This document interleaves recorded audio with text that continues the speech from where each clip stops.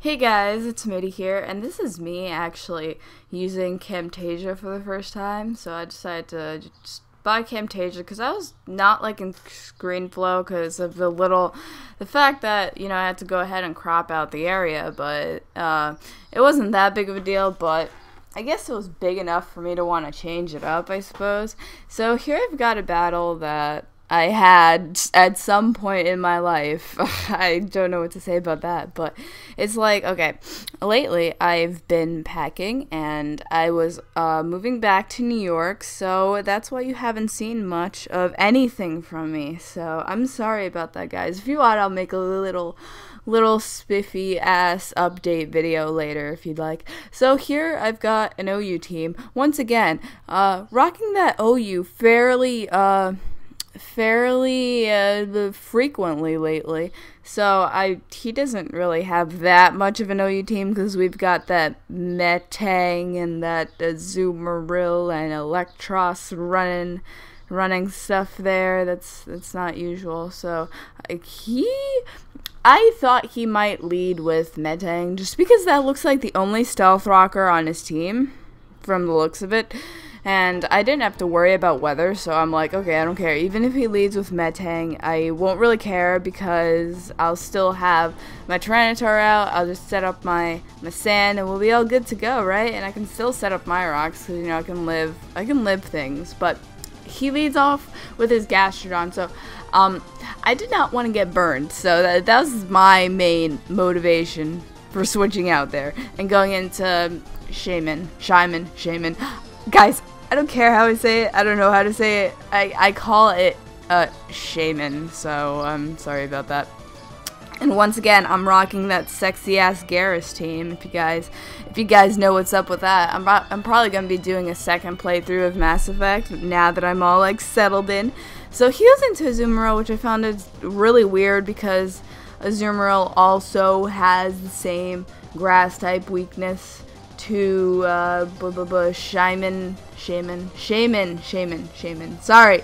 So, I was expecting him to go for an ice punch. That's why I went into Skarmory here. And I, I thought he was probably going to be banded. But, mm, uh, guess that's not the case. Or was he? I, I apologize, guys. I'm really sorry. So, um, I whirled him, whirlwind him out into a Dragonite, which is, eh, it's meh, because, you know, Dragonites can possibly carry, like, all that nasty-ass Fire Punch, so I'm kind of like, eh, don't want to deal with that. So I went into my Jellicent expecting the Fire Punch, and he carries a Fire Gem on this thing. What is going on right now? I'm so confused. A Fire Gem. So, um, we we've got we've got this lovely thing going on here. I don't know. Maybe it's if if you want to one hit KO like a Ferrothorn or something. I, I honestly don't know. Um, I'm also using my blue snowball right now, and if you hear like background, very uh, city like noise, uh, that would be why, because you know I'm in New York City and noise is outside always. So um, we, we go into Tyranitar here. I think I get up my rocks now just because I'm like, eh, I don't want that Dragonite to have multi scale shit when it comes in, so.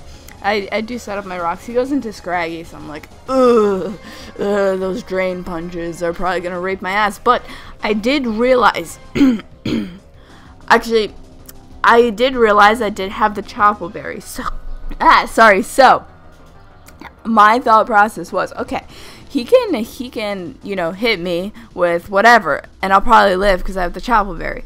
So, I, I'd still be able to take him out with one superpower, but uh, now that he went for a sub, uh, I figured he was gonna go for a sub again just to kind of stall it out. But I was kind of like maybe he's gonna actually go for drain punch this time. So I went into Skarmory because he's my my defensive beast up in this team.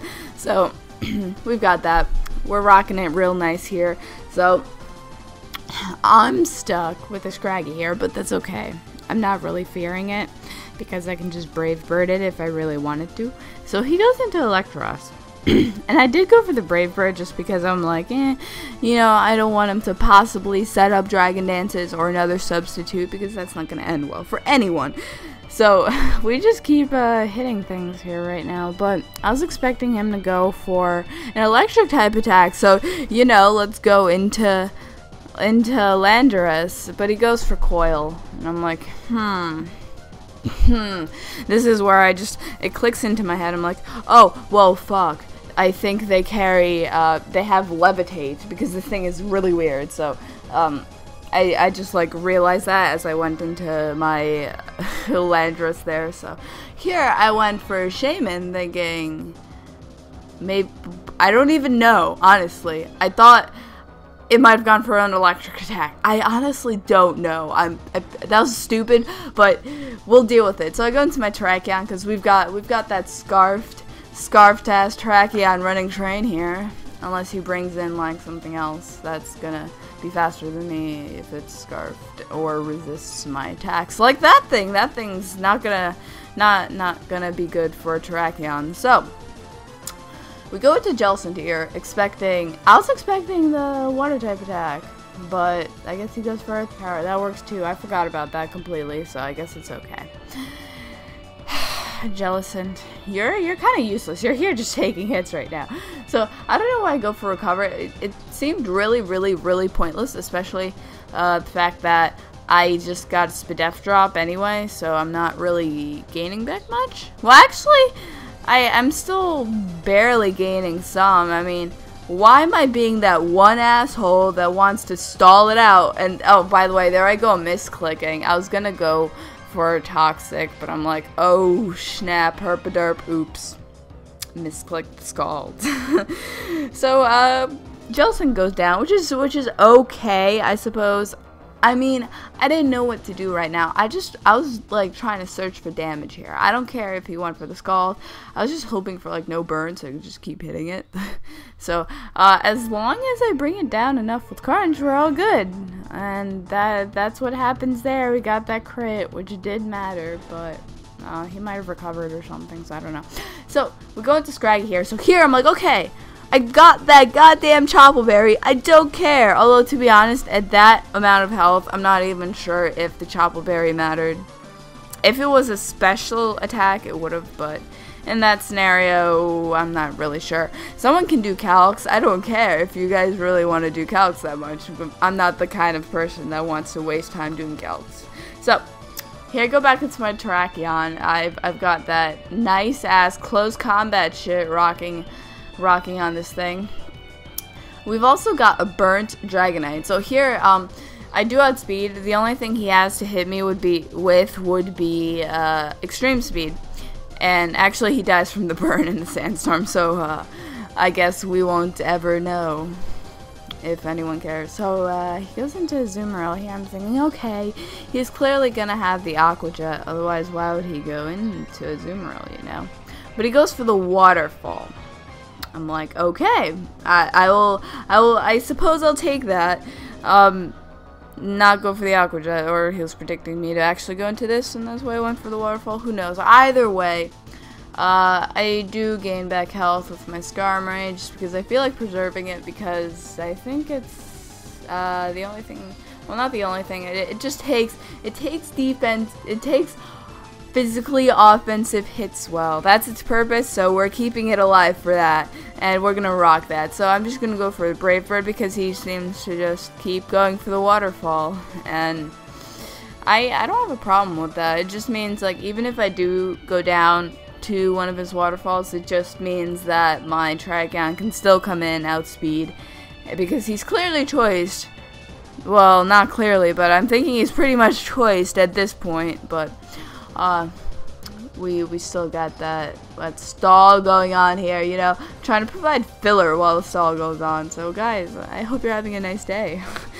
stall, is that your cup of tea? It's not my cup of tea, so you know, we're gonna keep stalling Damn it, Alina. You're playing the. You're like being that one douchebag right now that likes to stall. No one likes that one douchebag, Alina. I don't know why you're doing it. Should just let Skarmory die. so uh, he goes into his uh, Scraggy again. Obviously, oh, that's probably why I really wanted to uh, keep Skarmory alive. Although, honestly, with a Scarf Terrakion, it probably didn't even matter whether I kept Skarmory, Skarmory alive or not. But he goes for bulk up, which is it's not gonna do much. He's still gonna die to another brave bird if And he's not to be able to hurt me much either.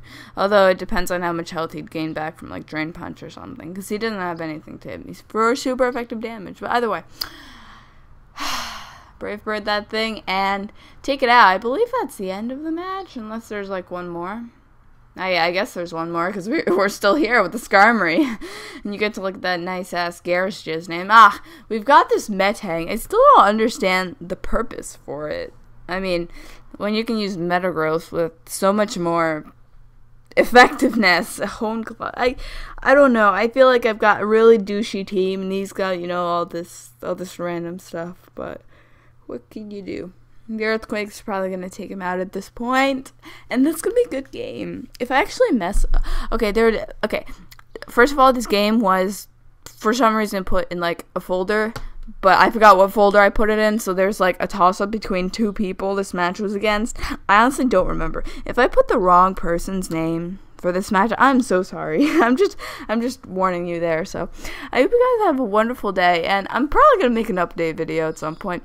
I only have this battle because um it's backed up and right now since my home router runs WPA I'm kind of trying to fix that situation so wish me luck and I love you guys and I hope you have a wonderful, wonderful day. And as always, you get to hear my lovely love, but I can't talk. You get to hear my lovely voice say how much I love you guys and have a nice day and hearts, internet hearts. So bye guys.